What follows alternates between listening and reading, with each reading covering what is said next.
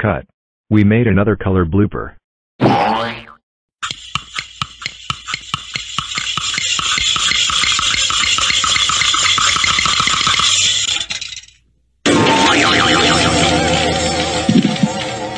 Uh.